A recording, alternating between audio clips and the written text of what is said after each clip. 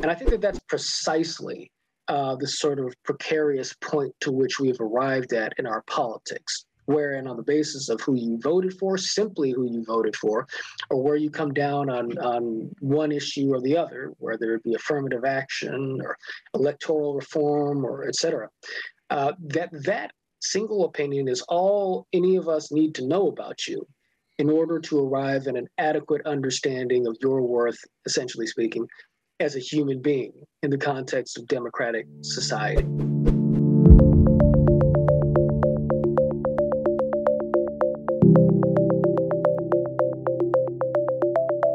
What could go right?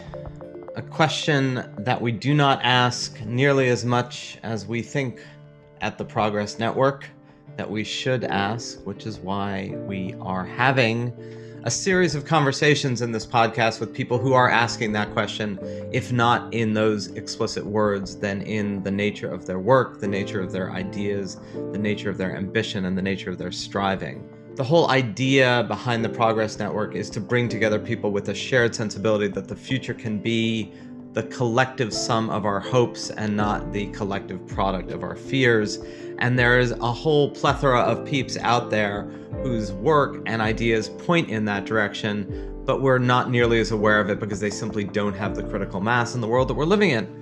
So, in that spirit, Em and I decided today, Emma Varvaloucas and I'm Zachary Karabell, decided today to have a conversation with John Wood, who is both a member of the Progress Network and is himself a thinker, but also a doer, a doer in trying to bring together people to help point in a direction of collective action and not collective discord. But yeah, a little bit more information about him. He's a national ambassador for Braver Angels, which is a depolarization organization. We can't seem to agree on a lot of things uh, in American politics, but I think we can certainly agree that we need to agree more and disagree less. So that's what Braver Angels is trying to do, is trying to bridge divides. John's also the former vice chairman of the Republican Party of Los Angeles County and he writes a lot uh, in particular about racial and political reconciliation. And I should give his podcast a shout out as well, Braver Angels podcast, where John interviews a milieu of extremely interesting thinkers. It's one of my favorites. But yeah, that's a long way of saying I'm excited to talk to John. And first, before we go to his podcast, we're going to go to our podcast. Here we go. So it's a great pleasure to be here today talking with you, John. You've had uh, an extraordinary career in a brief amount of time, and I'm sure that will augur an extraordinary career in a much longer amount of time, but that will be a longer amount of time than our currently designated podcast time. Um, and I think one of the things that's you know particularly attractive about the work that you've been doing, uh, and and therefore in sync with the work that we're trying to promote and engender and support and promulgate via the Progress Network is you know taking a step back and thinking about the context of the moment that we're in and where it's going to lead and and the power that we have all of us to construct that future that we're trying to design and not the future that we fear right? The future of our hopes not the future of our fears. And and i think for me that constantly raises the question and em and i talk about this a lot of everybody wants to think they're in the most important moment in human history human beings are constantly saying, "Oh, this is a moment of great change," or "Oh, this is this is the most important election ever," or "This is the most important dot dot dot ever." Uh, mostly because only in our present is the future unknown. Right. Everything else is, is, is the past. So I don't know. I mean, do, we we talked about this conversation going in the direction of transformation, right? Are we are we in one of those times or do we just think we're in one of those times because human beings always think they're in one of those times? yeah, I'm wondering what John thinks about that. You know, we're thinking of the title of this podcast. Are we in a transformational moment? What do you think, John? Are we in a transformational moment? Yes, I think that we are in a transformational moment. Um, of course, it's not to say that every moment doesn't carry within it the um, the reality of some budding transformation, but there is, I think, a reason to look at this moment very specifically as um, needing necessarily to lead to some essential realignments, I think, uh, in the ways in which we interact with society, the structures of society, the mechanisms by which we know things, communicate with each other, and ultimately uh, the ways in which we consider uh, ourselves as perhaps sort of you know functionally invested agents um, in a civilization wherein I think we have gone from being uh, something of consumers of liberal progress to now finding ourselves in a moment uh, to where we are all in one way or the other uh, conscripted uh, into the culture wars that will deliver us, you know, presumably to, you know, one version of victory or the other, even if it be a Pyrrhic victory in which everybody loses. And the stand that I choose to take in that context is to say that ultimately progress is dependent upon our harnessing what is best in the uh, spectrum of perspectives that are on offer across American society and across, you know, I mean, you can broaden it further than that, but to keep it rooted in this country for a moment, uh, to say that a democracy that develops into the sort of inclusive um, into this sort of inclusive uh, culture that is able to give everybody the sense that they are genuinely uh, invested and represented, uh, invested in its success and represented um, in its uh, system. Uh, is one that really has to make space for the full articulation of our varying different moral perspectives. Um, but figuring out how to accomplish that uh, particularly in our technological and our uh, complicated sort of demographic climate, uh, is not something for which there is easy uh, precedent, I think, to identify, um, even in our country's history. And so it has to be a, a period of transformation because. Um, nothing short of that is going to deliver us, I think, um, to the next uh, to the next phase of, of human progress. It's funny that this this idea of progress, right? Mm-hmm. So, Emma, if you touch a lot of people you know, do they believe in progress? Do they think the world's getting better as a general statement? No, but I think that they really want to believe in progress. I think just when they look around, they don't see the evidence for that. So I'm going to go with no. Interesting listening to John. You know, you talk about this as yes, it's a transformational moment transformational, of course, could mean we're transforming into something grim, right? transformation is, is, a neutral statement, right. the outcome of which could be plus, minus, or the same, some version thereof.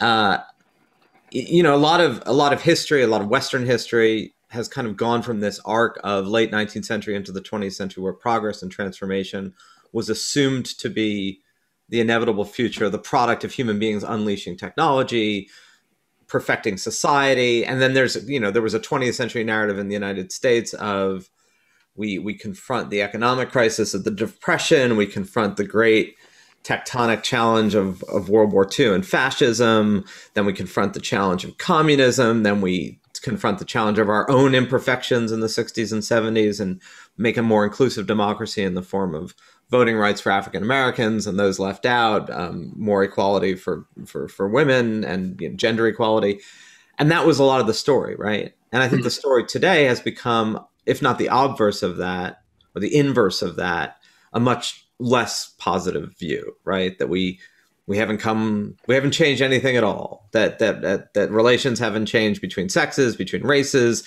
between countries. Uh, that the only thing that changed was our our self delusion mm-hmm. right? And and I think a lot of people buy into that. I mean, what what does one say to that sensibility? Because it is a sensibility, it may also be true. Mm-hmm. Right.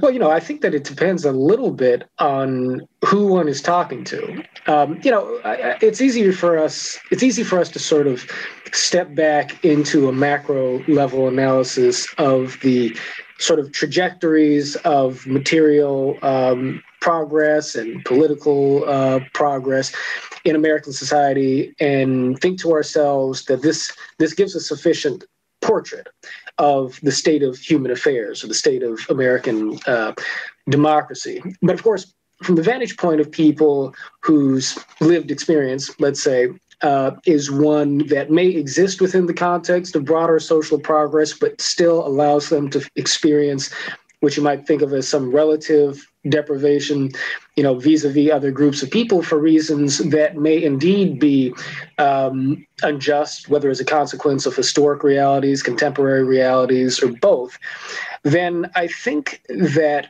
you know we are we become obligated to sort of look at this this picture in a couple of different ways. On the one hand, all of the progress that you identified, I think, is true and correct. You know, and I do think that it is a problem that in modern society we have a difficult time appreciating just how far we have come um, in the development um, of of both our political and, and economic um, society uh, because we are so hung up on the culture wars, modern disparities and inequities, and things that have gone wrong. If you can't appreciate what has allowed progress to come to be, you won't be able to conserve to conserve the conditions that allow for it uh, to generate.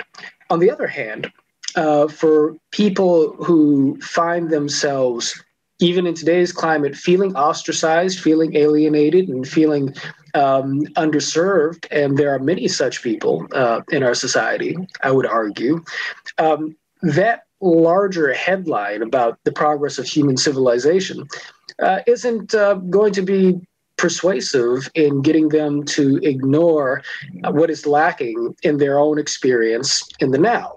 So, you know, we have to be able to paint a picture of human progress that is nevertheless sensitive uh, to the ways in which uh, certain groups of of um, people uh, may not be enjoying the full fruits um, of that progress, both economically uh, as well as socially. And those, in turn, become related but distinct conversations in and of themselves. Because, on the one hand, we might find ourselves in a place and time wherein we've achieved some you know, let's say fairly equitable um, distribution of resources and everybody has the opportunity for material security. On the other hand, if people feel as if their values, their culture, their traditions, um, things that they hold near and dear to them as a matter of identity are not respected or attributed human dignity um, in the social and political marketplace, you have the recipe for civil unraveling there as well. So uh, we need to be mindful of all the dynamics, I think, related to the uh, topic of progress, even as we survey it in broad strokes, um, you know, from the top down. Maybe, maybe another way to phrase that is you know, inherent in any transformation is volatility, right? And there are certain people who are going to feel that volatility in their personal lives more than others, right? Depending on their economic status, depending on their gender, depending on their race, depending on a lot of different things. Uh, and it's a lot easier to say, hey, we're going through a transformational moment, we're heading into something good when you don't personally feel that volatility on the day to day. Right. Yeah. Yeah. No, I think that that is. Uh, I think that that's right um, you know, one of the things that we just need to be appreciative of is precisely what you said, Emma, which is that volatility is a part of progress. Uh, you know, instability um, is going to be a part of change, and necessarily so. And so, you know, any expectation uh, that anybody might have ever had that we were going to sort of reach the end of history and coast on a wave of, you know, of um, uh, of enlightenment is is something that's always disturbed by the fact that even as gains accrue in society, that they tend to accrue um, unevenly. Even as institutions evolve so as to accommodate a wider range of, of cultural uh, uh, input, let's say, uh, that integration, that bringing together of different groups of people has to necessarily be characterized by friction and misunderstanding. Um, this is all you know you zoom out enough this is all positive ultimately. I mean you know this is very hard to build anything without without having to to to break or reshape some things in the process. Now you know having said that i do think of myself as having a fundamentally sort of conservative disposition insofar as i tend to think that people who have a certain vision of progress rush towards the idea of embracing radical transformation of structures and institutions and cultures as a means of getting there.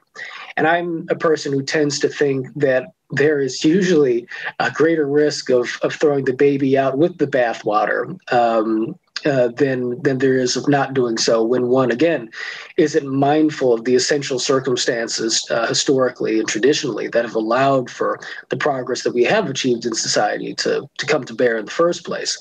Um, but you know, part of a healthy perspective, I think, on the evolution of society is understanding that that disruption. Um, uh, volatility, uh, even a certain degree of chaos is, is just a part of the historical cycles that we move through. So it's the challenge, you know, there are challenges in our time, but, you know, it's a person can be at peace with those challenges when one keeps that in mind. You know, it seems like one of the, the, real issues today, certainly in American society, and this is not, I think, true everywhere to the same degree, is this question of who gets to tell the story of who we are and who we have been and who we're going to be. Mm-hmm. And if you take a step out from Republican versus Democrat or, you know, South versus North or different regions of the country having different perspectives or different individuals within it, uh, there is a, a kind of a roiling contest at every juncture of who gets to say who we are, right? Mm. What's our story? And then part of the problem is there's a lot of different our stories depending on which ones of us are telling it. Hmm. and then those tend to fight, right? So there's a story of uh, we have actually gone backwards since the 70s, since a moment of opening and, and awareness to reform, to, to progressive reforms, uh, voting rights, poverty, housing, all the kind of products of the Great Society. There's another one that says that things have gotten way better in lots of ways and, and there's a reactionary unwillingness to look at it. And then there's the you know the regional parts and then there's even the pandemic confusion right? As to what story are we going to tell about what we did or didn't do or should have done? Um, is there a way through that? I mean it, it, is certainly true that nations particularly you, you know this guy benedict anderson uh, philosopher and writer of the 20th century talked about imagined communities you know that, mm-hmm. that, one of the things that holds people together is a shared story right mm-hmm. because and and we certainly are losing that shared story that doesn't mean that that's a bad thing if we can coalesce into something else but like what's the way through that in more even practical terms or is there one mm, right you know it's it's possible that we are beginning to sort of max out on our capacity to tell a broad story that is able to carry with deep resonance across all of the various, not just demographic uh, constituencies of American life, but across all of the different sort of, um, I guess, sort of technological silos that exist in our society.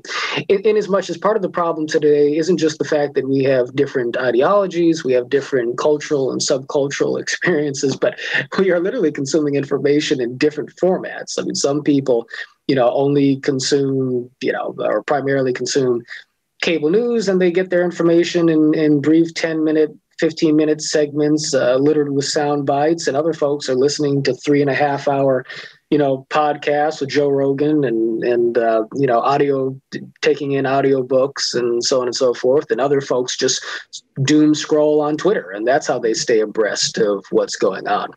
Now, a big part of what I talk about is the need for us I think to ultimately introduce a narrative a narrative understanding of who we are as a country that makes room for the broad diversity of experiences and perspectives in our nation in a way that is deeply relevant, uh, deeply res- resonant, um, and that may provide some pathway towards reconciliation.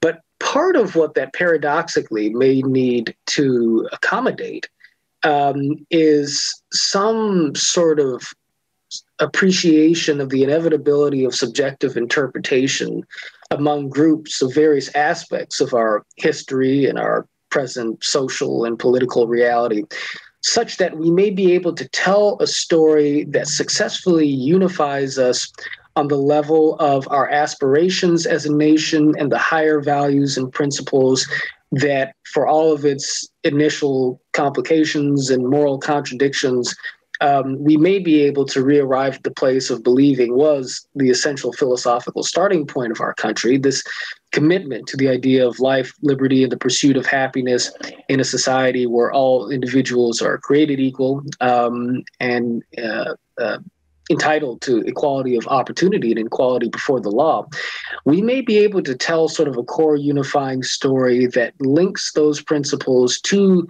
their equivalent aspirations for our society while allowing for the fact that there's a dialectic that is simply in motion between more particular historical and cultural interpretations uh, of the history that intervenes between those two points. And I think that I think that that arriving at a point of manageable and, and constructive tension uh, between varied narratives and perspectives that are bookended or grounded by ultimately um, shared aspirations in terms of the the ultimate ideals that we are pursuing is probably the goal. Um, you know what we've done in the past in American society is to have, and of course, look, there've always been, even before now, there've always been competing narratives between, you know, left and right, Republicans and Democrats, progressives, liberals, conservatives, etc in American history. Um, but what we had done more in the past when American society was particularly on the upper levels of society, um, more homogeneous, more rooted in a historical culture that had some greater religious uh, sort of shared shared tapestry of, of religion, et cetera, et cetera, was to tell an overarching story of who we were as a country that successfully united um, sort of you know the the majority population, I guess you could just say, um, in a way that sort of obscured the facts the fact that you had radically different historical experiences, uh, historical perspectives, and lived experiences from other groups within American society.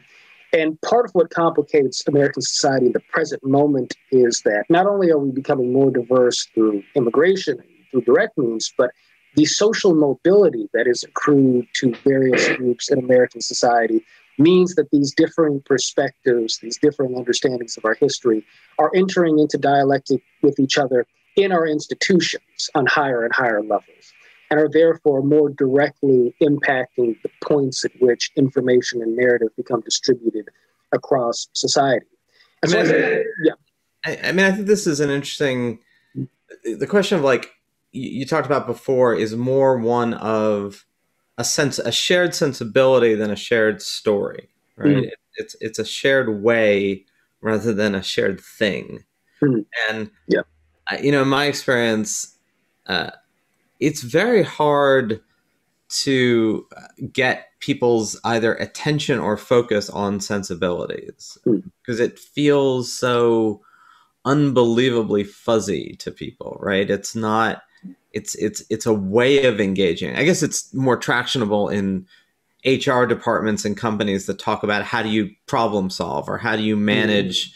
teams, right? So there's a whole world of that kind of the sensibility of how do you get people in the cliche to row mm. all the oars in the same direction. Right. But when it comes to things like politics and culture, we tend to eschew that, even though, look, a lot of uh, the romanticizing of religious tolerance in colonial America wasn't really much tolerance at all. I mentioned this in an earlier show, uh, but it was simply a, a, recognition that the alternative to not dealing with difference was just untenable chaos and violence. Mm-hmm. It was more of a a sensibility of uh, tolerance was the path of least resistance and greatest social cohesion but it wasn't like an ideology. It wasn't a def- it wasn't a defined idea.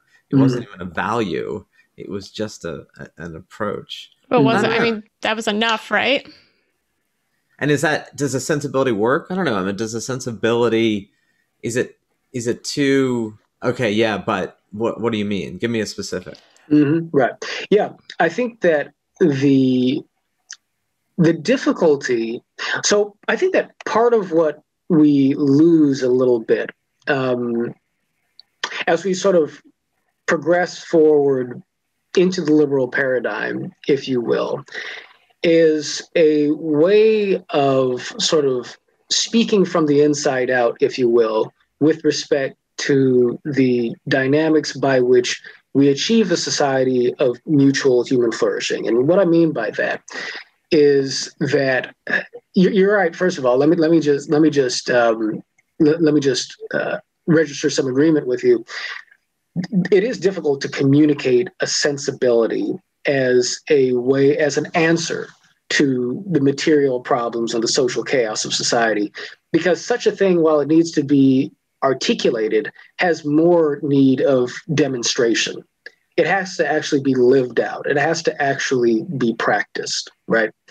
And um, in our moral sort of you know philosophizing and conversations, you know, going back across Western history a bit, you know, part of what you what you you know lose um, you know even prior to the enlightenment is a way of talking about morality that roots it in roots it in virtue that roots it in sort of what are the internal dispositions necessary by which i become an effective father or soldier or husband or or wife and even you know religious and and and um, and Christian uh, society itself becomes more hung up on what is the proper theological interpretation of a certain matter, right? The teachings of a person like Erasmus, for instance, who would have been focused much more on conduct. You know, how is it that we interact with each other in a forgiving fashion and loving fashion in a way that creates space for disagreement and tension to arise? That winds up being replaced by, okay, well, you know, what is your what is your perspective on the authority uh, of, of the church and this, that, or the other? Do, do we have a direct line to God, so on and so forth? I look at the civil rights movement and the nonviolent movement in particular as being sort of a, a powerful example, though, in terms of how it is that sensibilities can be communicated as really sort of the answer to social problems if they're not merely communicated but also demonstrated. So King had this philosophy of nonviolence, which really was sort of a uh, sort of a, a, spiritual philosophy of social change, which said that love is a social value that can be applied to social and, and, and even political questions.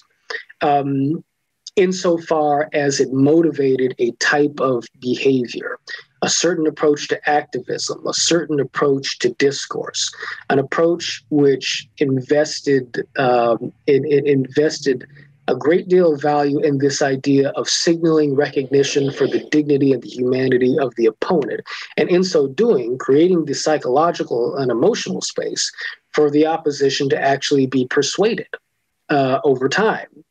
So if you just say all that, right, it sounds pie in the sky. But when you actually apply it, you know, as as King and the nonviolent protesters did through marches and demonstrations, through sit-ins, and even in the way in which you know King and others like him conducted themselves um, in interviews and in academic settings, uh, etc. Then you can sort of show that there is a way of doing politics and an attitude that corresponds to it, which creates the, the space for progress, right? Um, but it's but but we have to jump sort of from the from the classroom um, uh, to uh, you know uh, onto Main Street, so to speak, in some in some respects, in order to make that real for real for folks. So, Otherwise, it's just an ideological sort of sort of exposition. I mean, I think one thing that's appealing about the sensibility versus a narrative, right, is what you're saying before, John, about I'm not really sure how you would start to tell the story of the new American narrative. I'm not really sure, given what you said about the increasing diversity of the American population, I don't really know what the, the common themes are between lives at a micro level that you'd be able to carry up so that enough people felt like, oh, yes, that's my story too, right? Mm-hmm. At least with a sensibility, it does seem like it's easier to get people on board. Mm. And mm-hmm. while it might be more difficult to communicate, it seems like there's a broader avenue for agreement. Um, so I'm wondering if you agree with that, but also, you know, if we're going to move in the sensibility direction, what are the American sensibilities of the, you know, short term future, medium term future, long term future? What are we aiming for? Mm-hmm. Yeah, Indeed. Well, I um, let me see if I can tie all those things uh, together a bit. I do agree with you that I think one is more difficult than the other. Certainly, you know, when you're talking to to certain folks, and so you're going to have people in American life who have different identities, different perspectives, who say that, look, I'm not going to look at this country as being the land of the free uh, and the home of the brave when my ancestors weren't free because of the because of the moral cowardice of a bunch of hypocrites. Nevertheless, I'll accept the idea that I need to try and be a good person and engage people with some empathy and understanding. I think that's what you're pointing to. That that can that sensibility component can be an easier starting point. But I do think that there's a way in which um, sensibility, moral sensibility, virtue can work its way into the narrative itself in a way that can be profoundly profoundly unifying. For one, it's important to look at the American experiment as itself being um, a humanistic uh, project uh, humanist uh, project, in as much as this was an experiment in designing a society that would be more conducive to human flourishing. And again, even in spite of all of the contradictions at the outset of it, people from every walk of life have come to this country um, in search of uh, in search of precisely that, in search of greater human flourishing. But I would suggest that the founding sort of ideals that are easy for us to take off that stem from the American founding, this idea that you know liberty and equality and justice are um, are bedrock uh, values of our heritage and ideals to which we aspire. That there's a way in which these ideals are themselves not really animated, not really activated um, in a in a manageable and, and, durable sort of way without the essential uh, quality of, of goodwill being in the mix, really. Uh, one thing I think we all know is that, you know, uh, liberty and equality, to just take those as examples, are, you know, vital goods in our sort of, you know, moral and philosophical tapestry. But you can't maximize one without it coming at the expense of the other. You can't have unlimited freedom while also having unlimited equality and vice versa. It just doesn't really work. And so we're put in an untenable position to begin with. But the way these things wind up reconciling themselves effectively, I think, is when you have a is when you have sort of a predisposition towards good faith and goodwill to begin with. And by the way, Dr. King spoke in terms of agape love, which he defined as goodwill. So I sort of mean these mean the same thing by this term. Um, there's a way in which, if I have goodwill, then I may prize and cherish my freedom.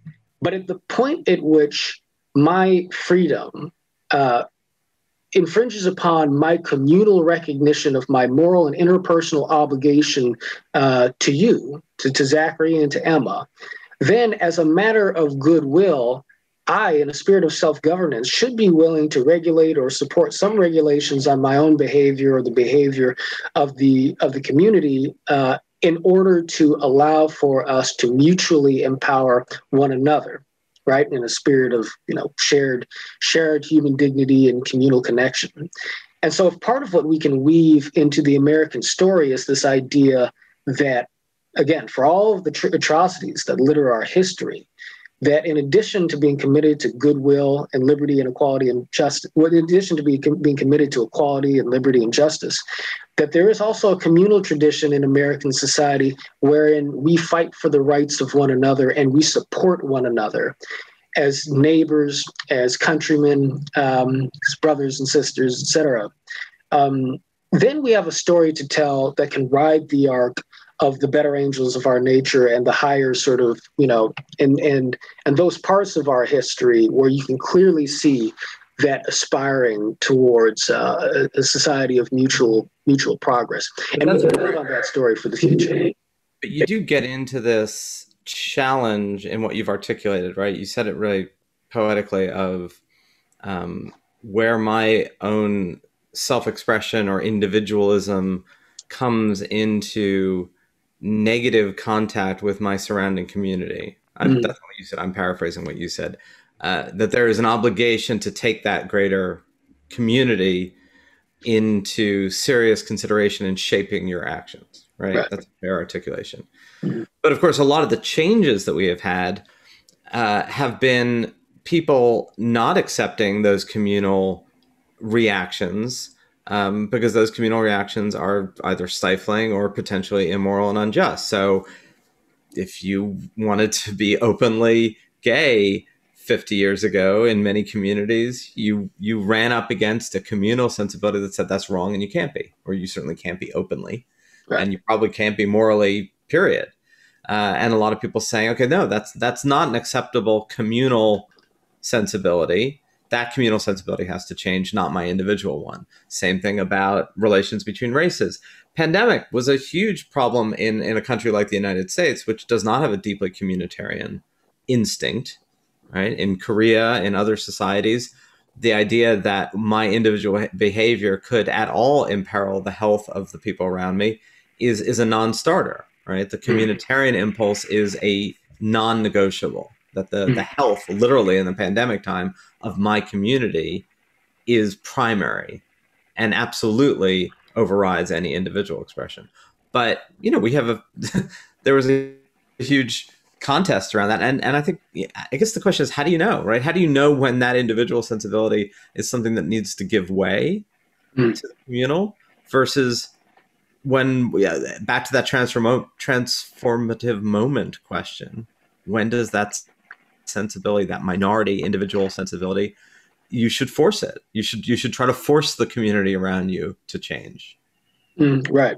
Yeah. Well, first of all, I wouldn't want to look at the the idea of I wouldn't want to equate the the idea of community with uh, the quality of majoritarian too too directly. Really, um, I think that you you never know on the basis of where the majority falls on an issue and where the minority falls, who is right or who is wrong. You know that that has to get worked out in the actual interaction um, itself. Uh, and along with that, I wouldn't want to be too binary in terms of understanding how it is that dialectic unfolds. Because yes, as we get to the the um, the, the rub on a given issue, and you know we may be talking about some very conspicuous sort of you know uh, decision point. Does this bill get passed or not? Does the supreme court uphold uh, marriage equality uh, or not? Then of course you know the temperature turns up. We have the argument. We have the debate. We have our protests. We we put our dollars behind the politicians and the messages that we believe in uh, and we see where the where the chips fall. But the conversations that happen over particular issues still happen within the context of the larger relationships that we hold with each other as a society. And these are multifaceted and dynamic. Um, I mean, just take the gay marriage issue as an example, hypothetically. You know, uh, I may be a father with a son who is gay, and I may be, you know, a conservative um, uh, uh, Christian or, or religious believer of some kind, and I might have a visceral disagreement with my son, and I may have some obligation to my own conscience to speak my mind and make my position on his lifestyle plain. At, at, at the same time, um, he's still my son, and, and, and presumably one would recognize moral obligations to listen, to be understanding, um, to reason together without judgment and contempt, and to offer up a recognition of the dignity of somebody who you hold dear or somebody who you don't know well at all, but who's a part of your community. You know, even if they be a stranger from the other side of town who you happen to encounter at a city council meeting, right? Um, in the sort of cultural status quo that I would strive towards, um, these varying other levels of interpersonal and moral obligation would themselves mitigate somewhat against the tendency for us to arrive at wholesale evaluations of the worthiness or non-worthiness of one person's uh, character uh, on the basis of where they stand on a single political issue.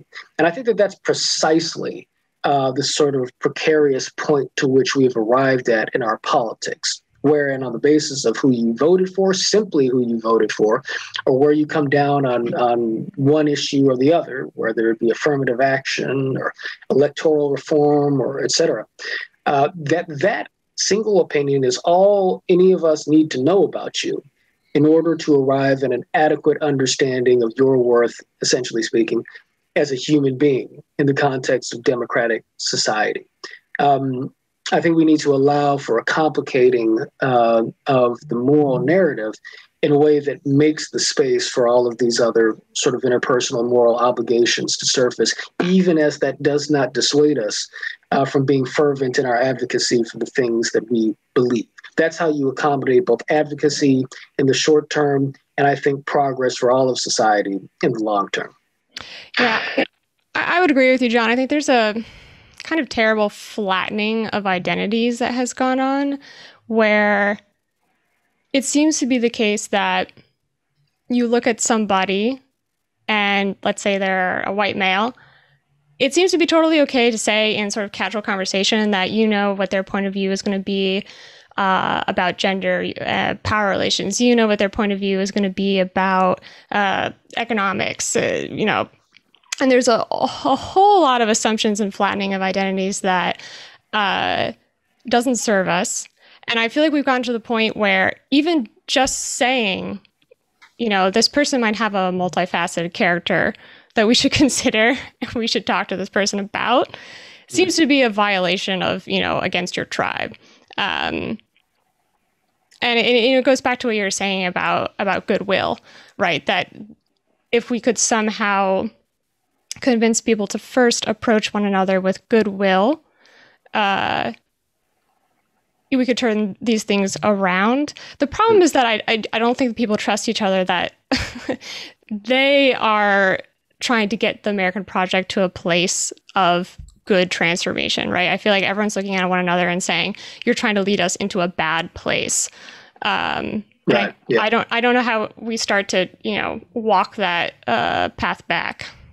Mm-hmm. Yeah, conflict negotiators have had to deal with this for years where two parties enter into something with the opposite of good faith, with with the conviction that those on the other side uh, actively and relentlessly wish them ill, and w- which can never really be the starting point of anything resembling consensus or compromise. And you see this a lot in Washington today. There was, you know, where whenever this appears. Um, we're having this conversation during this multi-month period of negotiations in Washington over whether or not there's going to be an infrastructure bill. And at various mm-hmm. points, different parties within the Senate have basically said about each other that they are convinced that those on the other side bear them no goodwill, that, that there is no good faith negotiation. Full stop and then that's actually their starting point. Their starting point is there's no good faith negotiation, which is you know, very similar to what's going on between various Arab and Israeli or Palestinian and Israeli negotiations for 50 years.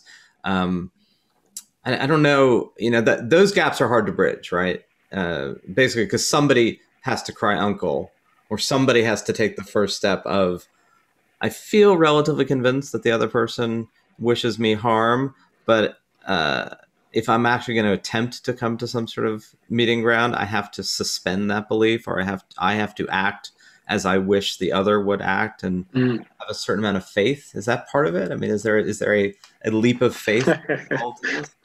well, look, you're yeah, you've put your finger on it. Uh, that is precisely what makes it difficult, and yet I think that is precisely how this is how this is affected, really. So, in in, in Braver Angels um, workshops, um, you know, the work that uh, my organization does, bringing together individuals from the left and the right to be able to arrive at a deeper understanding of each other's experiences and potentially collaborate on meaningful issues. Uh, we don't bring people into the room unless we can reasonably uh, assume that they come in good faith, right? Uh, because if that feeling isn't mutual, it's just a bad starting point uh, to begin with and difficult to overcome. Nevertheless, part of the work that we do is to try and equip people with the tools, both psychologically and um, rhetorically, to be able to go into conversations with people who may not be in good faith uh, at the outset of an interaction.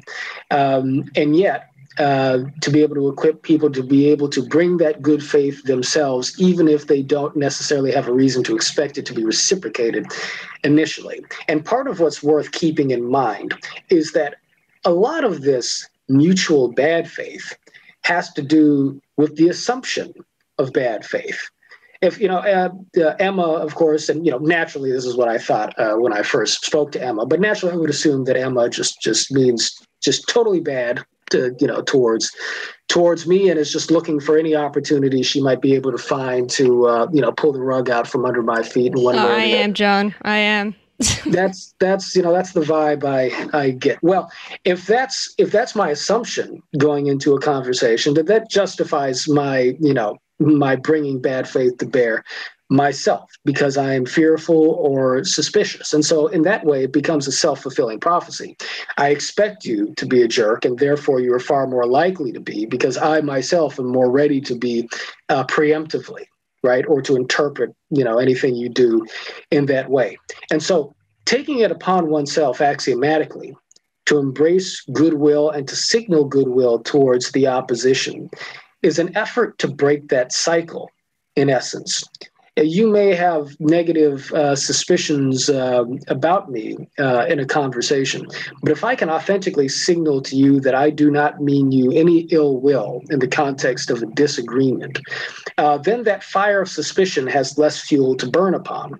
And what happens with time um, and you know, it certainly varies on the context of the interaction uh, and the scope of time that we're talking about. But in the context of time, what tends to happen is that a person realizes that, hey, this disagreement that I have with this individual or even with this group of people may be a mere disagreement. It may not be a disagreement that is masking some deeper interpersonal or intertribal animus that has to be there. And if that animus does not have to be there, maybe I have psychological or emotional permission now to listen to what's being said on the other side of this conversation because it doesn't seem to be intended against me. Um, if we can bring new norms to bear and take the responsibility for basically going first in offering up that goodwill in the context of our social interactions, it creates the other it creates the space for others to reciprocate in time. But it is a demanding it is is quite a thing to demand of people, you know? And yet I feel it's ultimately necessary for many of us to do. I mean, I'm glad Zachary used the term leap of faith because what you just said, John, and also what you're talking about before with goodwill, it it, it appears to me as a spiritual or religious project. Um, you know, and lots of people have talked about how politics has sort of become the new religion, but it seems like we've taken all of the bad parts of religion into politics and none of the good parts. Um, mm. and something that religion does well is that it unites people and does give a moral foundation uh, to look out at the world. Um, yeah, I'm just curious if you see it as well as a, as a kind of a spiritual project. I do. Uh, now, I think that you know if if it's a spiritual project it's not a spiritual project that needs to be anchored in religious identification at least you know certainly not not for not for everybody. Um, the, the nonviolent movement was sort of rooted in the African American Christian church, but it boasted the participation of people from multiple faiths and from no faith who nevertheless believed in the social power um, of agape love, of goodwill, um, when applied through various methodologies uh, to these to these living questions. Um, and so I, I think that not, not just with respect to the quality of goodwill in particular, but concepts like honor, concepts like integrity, um, concepts like empathy, uh, to be sure, um, nobility, even. We need a far richer uh, internal vocabulary um, of virtue and sensibility and disposition than we are currently able to call upon now in our mainstream social discourse. Because those are the only things I think that can reliably begin to transcend um, some of the deeply rooted ideological and experiential uh, differences that exist between us at the moment. We may disagree radically in terms of our cognitive empirical assessment of the world. And yet, human flourishing isn't just a matter of charting, you know, the growth trends of, you know, GDP and and and you know, educational outcomes in a given society. Human flourishing is something that we experience internally that will correlate to our material conditions. But the internal reality of human flourishing has to itself, I think, be deeply connected to the internal attitudes and dispositions that we carry around with us through life, certainly in regards to the attitudes and dispositions uh, we hold towards one another. And so, if we can anchor our perception of one another into an internal discipline that is not content to sim- that is not content to simply play host to an ongoing dialogue of contempt in our minds, then I think we can begin to develop something of a moral culture in American society, which is less about dogma and ideology and more about the practice of good faith and goodwill in society, uh, and that that will ripple out to progress uh, across every other domain. So, yeah. softball question 101. Oh, sorry, Emma. I'll, we'll... I'll say really quickly. I just I like that we started at at these big this big question of social transformation. We end up uh, ended up in this individual personal transformation. I feel like that. Um, that's something yes. for people to grab onto. Go ahead, Zachary. Right. That's I wonder. I wonder, John, uh, on that. And this is like softball question 101, but does it work? Right? Do people mm-hmm. Do people really? I mean, there may be a selection bias in that by the time you are able to spin your magic formula spell in better braver angels people are primed ready and and open to it but there is that question of does it work right mm. do, people, do they have to kind of be there before they get there or mm. can mm. are, are people have you experienced people making more leaps toward one another and across gaps divides chasms than than one might think oh yeah um, well, the short answer is that it works. And in the context of our own particular methods and practices at Braver Angels, for most people, I wouldn't say universally, um, for most people, not only does it seem to work in the moment, in other words, you know, not only do people tend to come to a more nuanced and empathetic um, and understanding way of interacting with each other within the space of a given workshop or event, but uh, it seems to be the case that that psychological um, effect uh, is ongoing, that it lasts beyond the space of a given um, event. Uh, and we, we're starting to build some data to that effect, both internally and through uh, external um, review, information I can get you guys if you're interested. Um, but I think that more broadly speaking, in society and in history, I think that the transformation of the individual in a more more morally sort of altruistic um, more moral and altruistic way does accrue to the larger flourishing of society. I think that the important thing to keep in mind, though, with respect to that, as we think about the moment that we're in, is that it, it is never, on the one hand, we want to broadcast and cultivate the norms of goodwill as far and wide as we can possibly manage it. On the other hand, it was a definite minority of people who were willing to walk across the Edmund Pettus Bridge in that spirit, you know, um, during during the civil rights movement. It has always been, I think, a minority of people who have been able, by holding themselves to a certain standard, to sort of bring the standard up for the rest of society in a way that stabilizes the broad functioning of institutions. And so you can think about it in the context of a single family. Uh, many of us probably have have the memory of a, of a grandfather or a grandmother who was the anchor of the whole family, right? The, the, the, the family, you know, the patriarch or the matriarch of the family, uh, who had the credibility to, you know, to, to ask everybody to sit up straight at the dinner table, keep their elbows off the table, but to also respect one another, to be there for one another, to speak in a certain way. And then sometimes what happens is that individual passes away. There's disarray until somebody, you know, fills that space. It's just one person, but it's one person who may be able to hold the bar up for a family of dozens or more, even. Um, well, I think that that, in fact, is the nature of societies and kind of something of a nature of social hierarchies as they persist within societies on this particular question. I think that those who have the heart to commit to this way of being need to do so in order for others to begin to follow that example. And so, on the one hand, that may seem like a lot of pressure, but on the other hand, it suggests that each of us is so much more powerful than we may realize that we are in terms of our ability to begin to affect this sort of change in society because we have the power to do so, to begin to do so within our own circles and our own networks to start with. Uh, and so the critical mass that we would need to reach in terms of an understanding of this way of being is probably not so high as you might think um, in order for it uh, to be consequential. Well, I feel uh, empowered. Yeah, exactly. Do you feel empowered, Zachary? I feel empowered. I'm ready to go.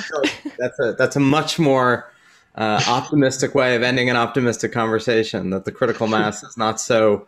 There's not so much mass that requires it to be critical mass, which in this case is a really good thing. In other cases, is you know probably not such a good thing.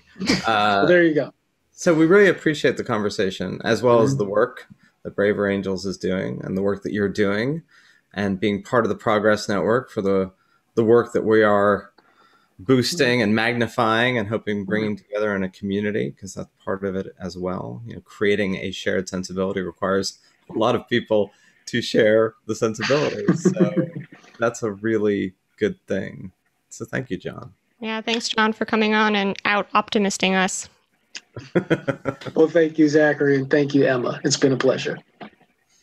So I'm always curious at the end of these conversations, as compelling as they are, and as convincing as they are, if you're already in the camp, I, I'm still working out how convincing they are if you're someone who started out unconvinced. I mean, if you really do think that the world right now is in a highly contentious place and that the stakes are existential, like that there is no compromise with the other side that the other side represents the end capital t capital e is this kind of dialogue simply noise or or can it penetrate that that sort of belief and i do think a lot of people have that belief i mean maybe we'll hear from somebody who can write into us and tell us you were utterly unconvincing. And in fact, I think your whole project is a disaster. We, we welcome that kind of email, by the way. Hello at theprogressnetwork.org. Um, but I will say this, just coming from a bit of a, a, spiritual background, is that I totally agree with John about the power of personal transformation. Because if you enact that kind of behavior in your own life, it does ripple out to your little personal network. And then that little personal network has the wider ripple effect, and so on and so forth. Um, and I, I don't know if you can really make the argument that there's a existential threat to approaching someone you don't know with goodwill or someone who might be on a different political side than you to goodwill. It doesn't mean that you don't need to fight against their politics if you think their politics is wrong. Yeah, no, I mean I'm not obviously the one who needs convincing here, but it is it is the attempt I ask these questions from the spirit of it's so easy to preach to the choir. I know a choir I'm singing to. You know a choir you're singing to. We know a choir we are a part of. And it is the easiest thing in the world to have conversations with like minded souls and get to the end of it and go, oh my God, that was great. That was just wonderful. I love that. Thank you so much. We need more of that. And yes, I, you know, I believe that and we believe that.